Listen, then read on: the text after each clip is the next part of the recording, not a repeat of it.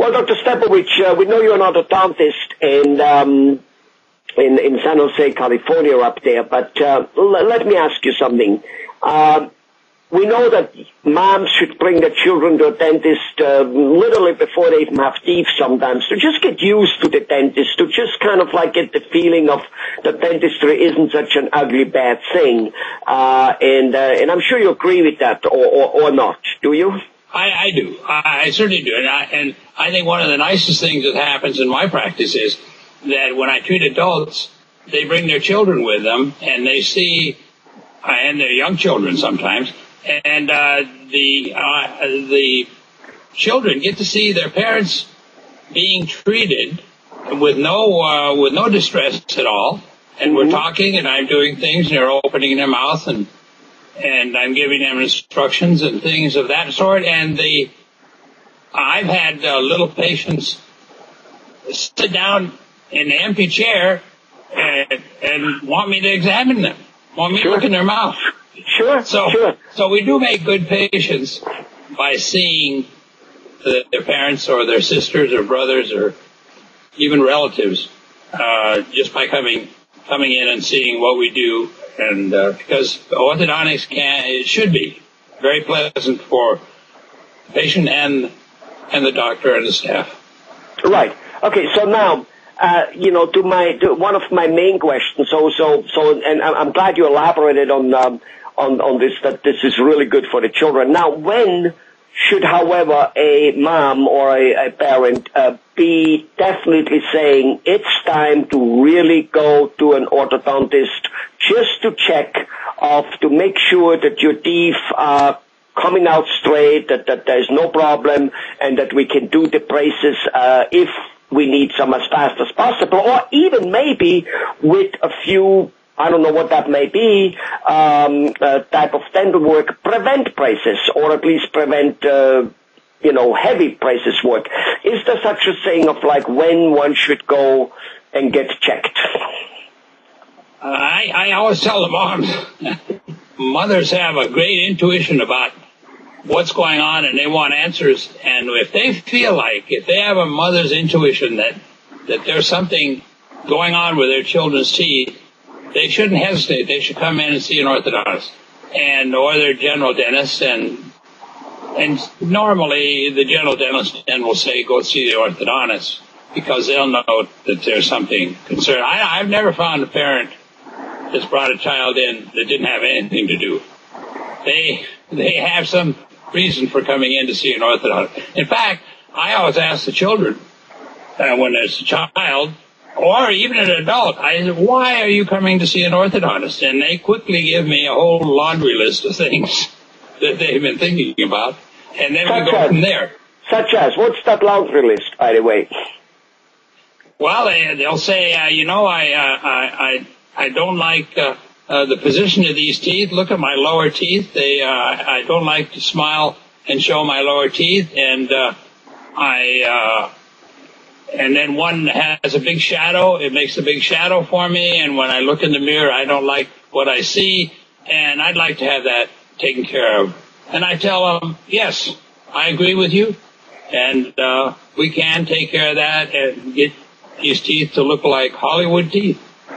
Well, all right. Now, let's assume, and, and it's wonderful to hear, it's really wonderful to hear that most moms or all moms, as you may have said, uh, have an intuition that things are going on, and then the child himself has an intuition of what's going on. Um, but let's assume um, that intuition uh, uh, isn't there, and uh, uh, for some reason it looks like it's all fine and dandy. When should a mom, mom bring the child to the orthodontist um, to make sure that uh, things are fine? Uh, well, the American Association of Orthodontists recommends seven years old. Because Do you agree with them, though? Never mind I, what they, well, never mind, never mind what they say. What do you say? I, I say that I've treated patients at three years old, and they have no permanent teeth at all, and we change things uh, so the child can develop in a more normal manner, and that that is very re- rewarding to do that. but you rarely do get someone at three years old. So I recommend any time that there's any problem about the teeth, they should they should see, you know, if they can perceive that there's a problem. But I think uh, probably uh, no later than five years old, uh, I'd like to see all my family families who have younger children, and I'm treating the older ones. I, I ask them to bring them in by five years old. Okay, so we can take a look. And we might not do anything, but we may find something that really, really would help to take care of that so that the person can develop normally from that point on and not have this abnormal situation cause problems that make the treatment more more complicated. Got it. later in life. Got it. So are you saying that the way the first teeth grow or not grow, uh, the way it, they are positioned and maybe come out or not come out, um, actually does influence uh, the growth of the permanent and second teeth. Yes, and uh, uh, there's a lot to that, uh, what you said there, because if a person has a crossbite, that means the back teeth are inside the upper teeth. If that's the situation, the arch, the, um, uh, the, the space for the teeth is made smaller. And if, and if you correct the crossbite, you make more room for the teeth and stop impacted teeth from becoming impacted.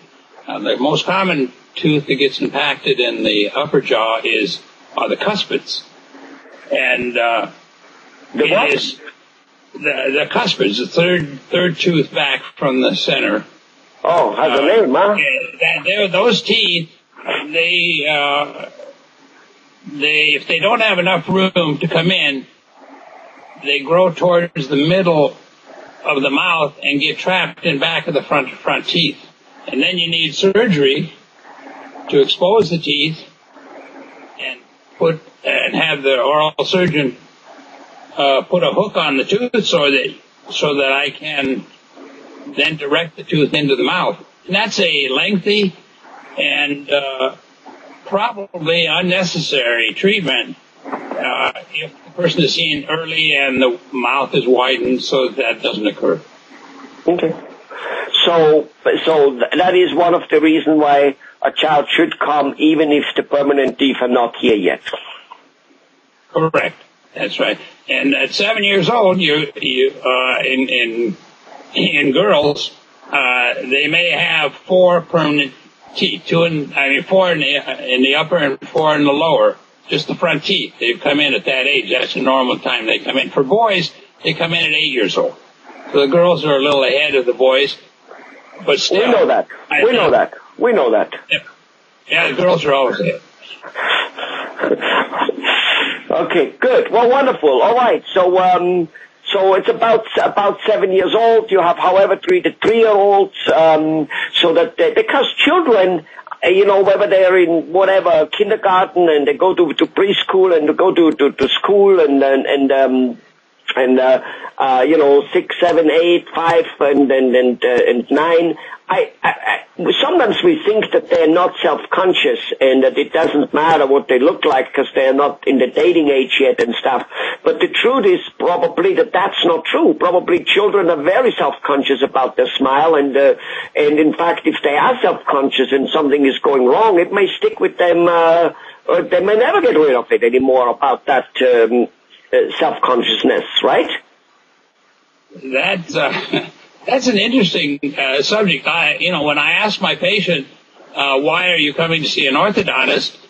and they don't answer me, I say, "Well, then is mom or dad bringing you in the in in be, uh, because they feel something is needs to be done for your teeth? Uh, are you just being brought in here and you don't really want to be here?" And they'll say, uh, "That's right. I, I, don't know what I'm doing here," and but they are not truthful.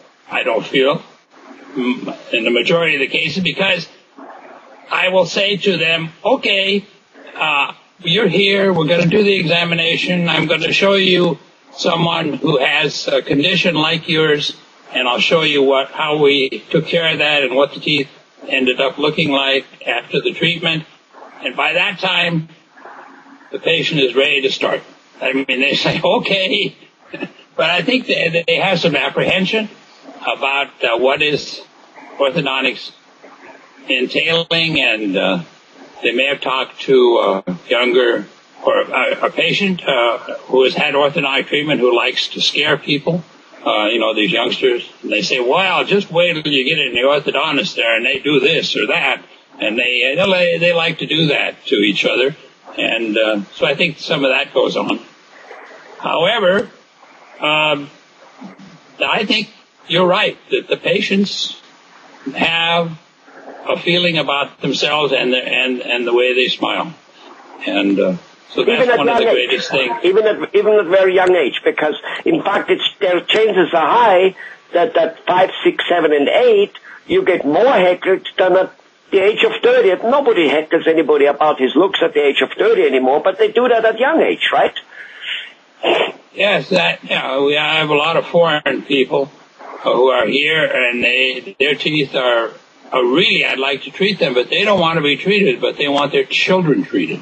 And they, uh, they just put up with all the spacing and missing teeth and crooked teeth. Uh, they just, but they're not interested in doing anything for themselves and they're not, you know, introverted. They're outgoing and, Right. Well, that's, well, that's moms. I mean, my mom, uh, my my mom, uh, um, you know, and my dad, um, they, they for, for they for forgo a lots of things and have forgone a lots of things just to take care of me. I mean, mom will make up, put up with back pain, uh, the help, all hell breaks loose, but you'll bring the little kid for a tiny little scratch to the doctor because the kid shall not have a scar when he grows up or some such thing, whatever it might be. And, uh, well, that's just the goodness of people who, uh, who just love to take much, take care of the kids. They say, well, my life is what it is. I, I can live with it. And, uh, but my kid, I want, uh, I want the best. I want to put any roadblocks into my kid's life, you know?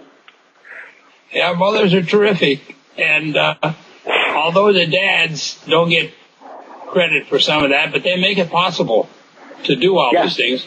Right. So, uh, so they're in there doing their part, but uh, definitely uh, mothers want their children to have the best.